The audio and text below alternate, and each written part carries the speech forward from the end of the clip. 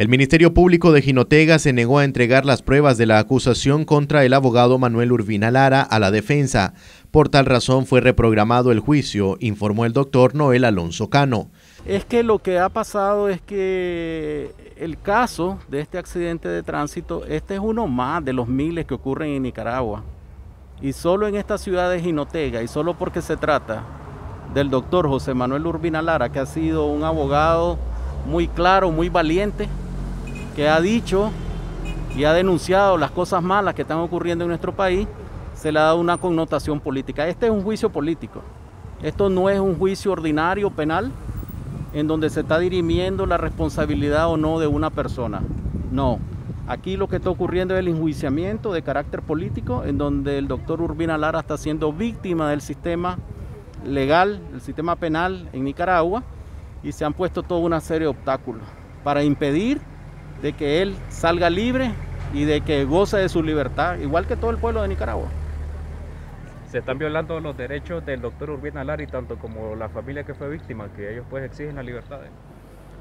Aquí en este juicio es un debería de servir de estudio en todas las facultades de derecho de Nicaragua de cómo no se deben hacer las cosas en derecho, en, en procesos penales determinados.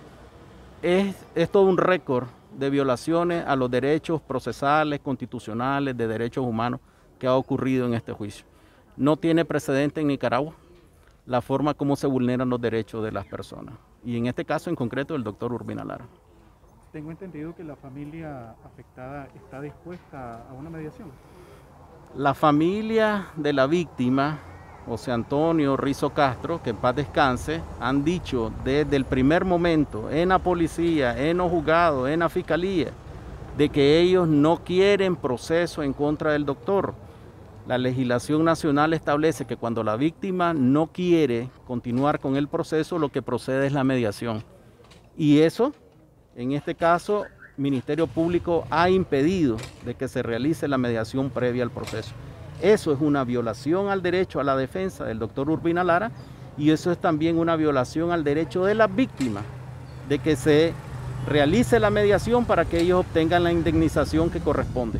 Los familiares de Urbina Lara denuncian las anomalías del proceso originado por un accidente de tránsito donde falleció una persona el pasado 24 de enero del presente año. Pero él está todavía en prisión, no lo han dejado salir porque se puede dar un acuerdo de mediación, se le da a los violadores, se le da a los asesinos. Hay muchos accidentes en Managua, en Nicaragua y toda esa gente llega a un acuerdo de mediación porque a Urbina Lara se le está negando el derecho.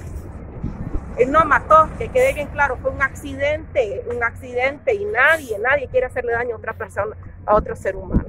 Aquí estamos esperando. A ella le habían dado orden de libertad y pues se la revocaron. Sí, la jueza la revocó en menos de 24 horas. Se la revocó y hasta el día de hoy todavía seguimos en espera. Marcos Medina, Noticias 12.